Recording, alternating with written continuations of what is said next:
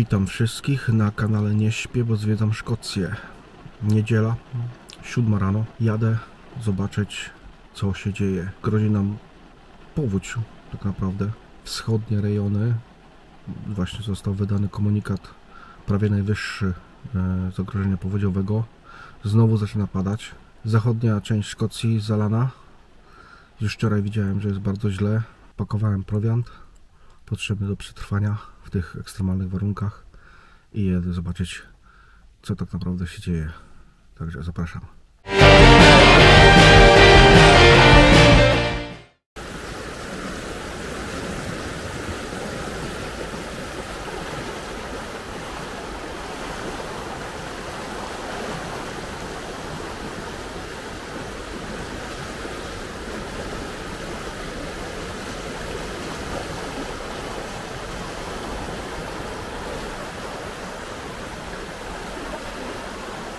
To jest dopiero jedno z pierwszych miejsc, które dzisiaj odwiedzam z samego rana, żeby zobaczyć jak bardzo narażeni jesteśmy na dużą powódź. Mam wrażenie, że ta powódź będzie naprawdę duża. Znowu zaczyna padać. E, I chciałem zobaczyć mm, ten stary, chciałem zobaczyć, chciałem podjechać pod e, stary most Stirling, żeby zobaczyć z bliska. To jest e, ten most, przy którym nagrywałem materiał o Brycharcie, o Williamie Wallace'ie, także jak ktoś chce zobaczyć, tam nawet jest dosyć oglądany, bo widzę w statystykach, to może sobie teraz kliknąć tutaj z prawej strony u góry, będzie odnośnik. A, chyba nie dojadę pod most Stary Stirling, bo no nie bardzo. Sami zobaczcie. Jeszcze autem to myślę, że dałoby się przejechać. Fiacik 500 przejechał, to ja też przejadę.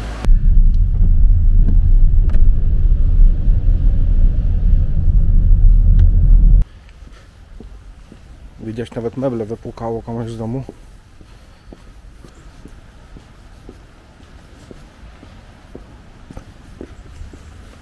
Najfajniejsze są te poranki niedzielne, kiedy nikogo nie ma na ulicach i człowiek się czuje tak, jakby się przeniósł w czasie.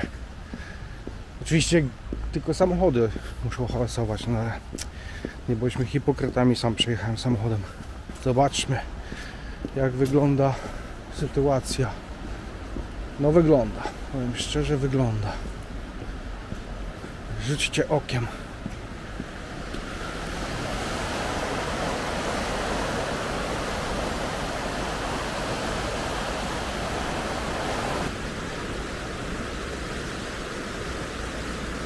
W Sterling sytuacja wygląda poważnie, ale jeszcze nie tragicznie. Jedziemy zobaczyć wyżej na północ, tam gdzie naprawdę ponoć jest źle. Zaczyna się robić ciekawie lokalna droga. Niestety za bardzo się nie da przejechać.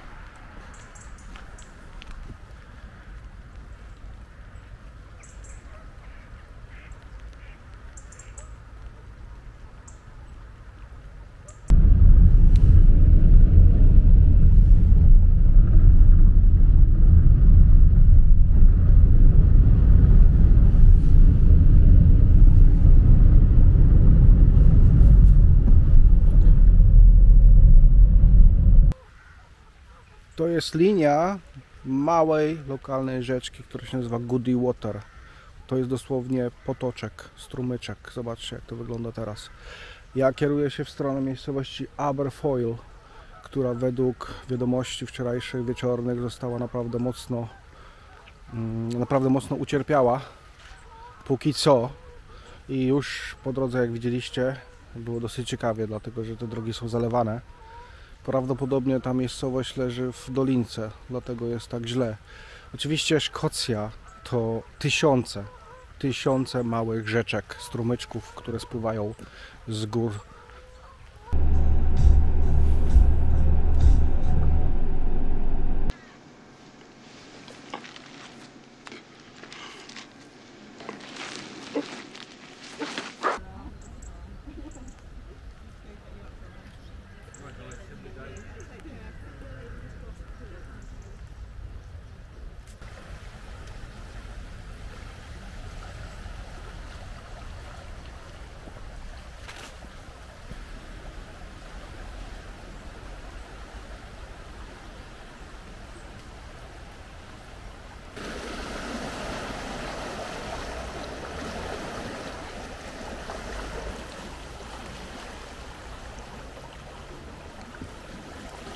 Postaram znaleźć w internecie zdjęcie, jak wygląda koryto rzeki, powiedzmy latem. I wrzucę w tym momencie na ekran, żebyście mogli mieć porównanie.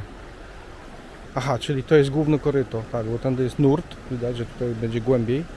Natomiast wylała oczywiście na pola. Tutaj stoi konik.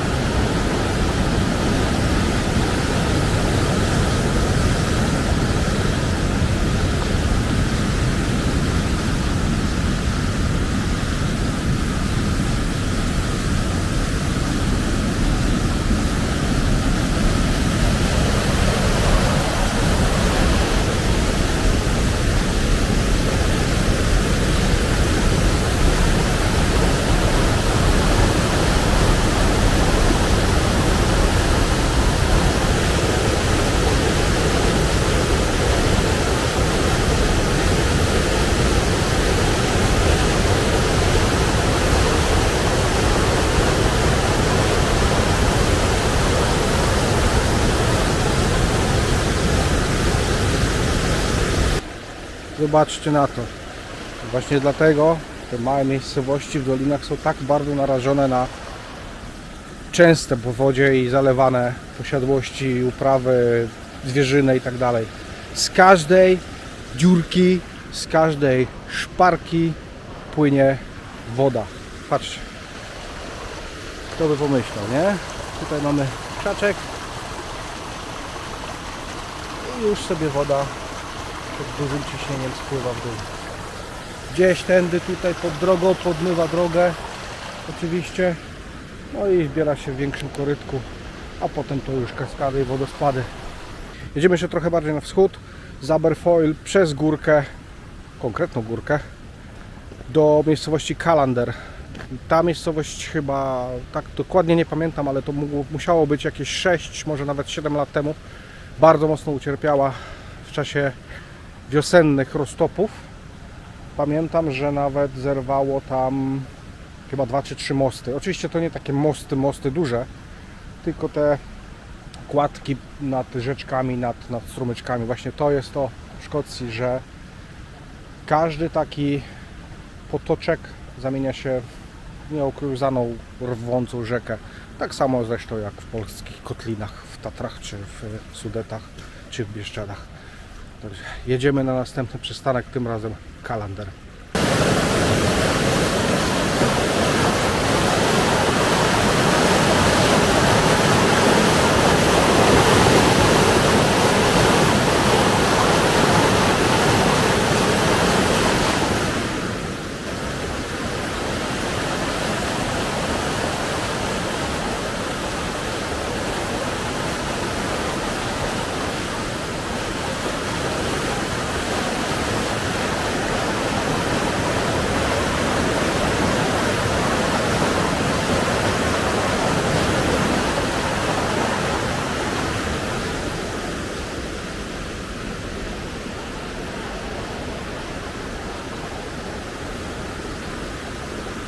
Wczoraj widziałem owce, które stały, można powiedzieć, po pas w wodzie. No też ciężko powiedzieć, że owce stoją po pas, ale wyglądały tak, jakby nie miały nóg. Oczywiście one uciekły. Uciekały, może uciekały, no, przesuwały się tak, bo to wiadomo, to tylko zwierzęta, więc nie mają jakiegoś instynktu, który im powie, słuchaj, teraz będzie z tej strony zalewać, musimy iść z tej strony, tylko po prostu widziały, że woda się zbliża, więc się odsuwały, odsuwały. W końcu się zebrały takie kupce na jakiejś mini górce i tak stały. No i ta woda zaczęła się jeszcze bardziej podnosić, podnosić, podnosić. W końcu zaczęła im podmywać e, łapy, stopy owcze. I e, widziałem zdjęcie. Postaram się je znaleźć, to wrzucę. Gdzie stoją owce już odcięte na bezludnej wyspie, na bezowczej wyspie.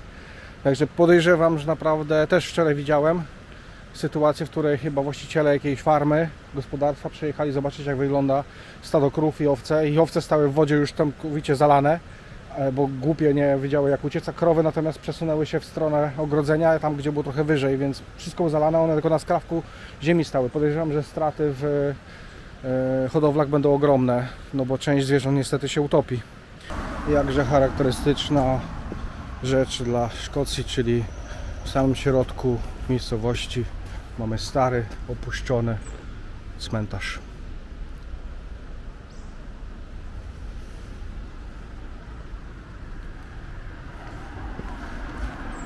A my pójdziemy tu w lewo ścieżką rowerową i zobaczymy jak daleko uda się dojść. O, daleko się nie uda dojść. ok, ale tu jest górka, na górkę wejdziemy. Dobra. Czyli tutaj ludzie mają zalane posiadłości, no bo zobaczcie, tu jest furtka. Tego Mercedesa to ja bym tak yy, usunął z tamtego miejsca. Ktoś zapomniał, jak widać. Dobra, ciautko. I się Mesio kąpie. Chodźcie, idziemy na górkę.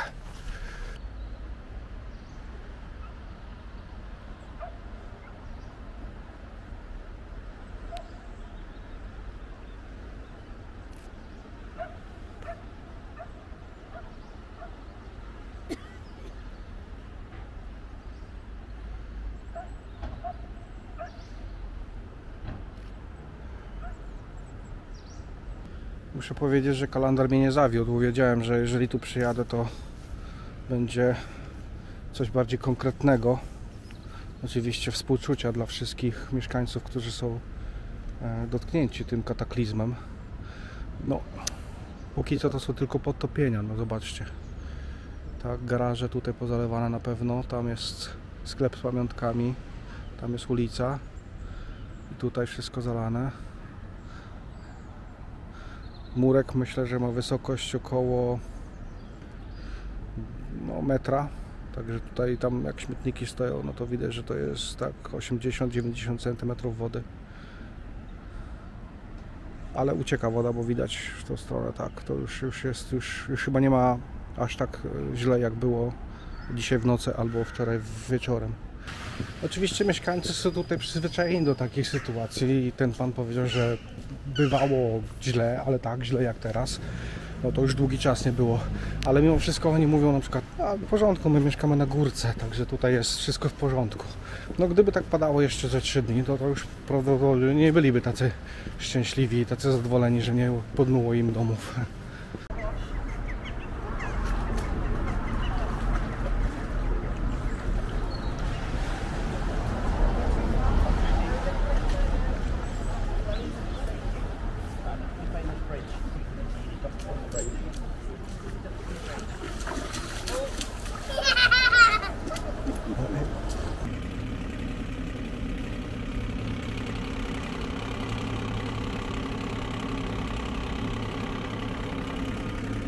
No na piwko nadal można przyjść. Nie ma problemu. Jak widać.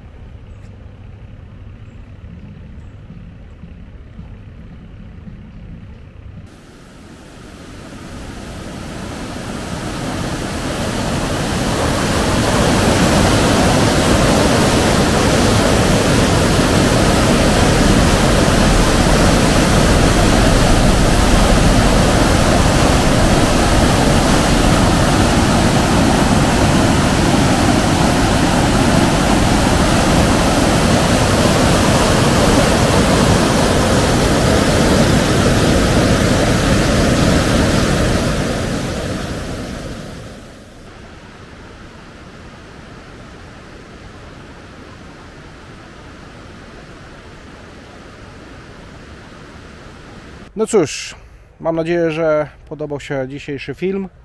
Wiem, że siedzicie przed komputerami, przed telefonami, w ciepłym domu, w ciepłym autobusie, gdziekolwiek oglądaliście ten materiał. Jest chłodno, jest wilgotno, pada deszcz, ale jest tak zarąbiście i tak fajnie, i tak cicho, poza tym, że od czasu do czasu przejedzie jakiś samochód, że ja tu jeszcze sobie zostanę i popatrzę. Także bawcie się dobrze, dzięki za oglądanie. Komu się podobało, może dać suba, komu się podobało, może dać lajka, może skomentować wszystkie te pierdoły na YouTubie. A ja w takim razie żegnam się z Wami, zapraszam na następny film. Trzymajcie się, na razie, cześć.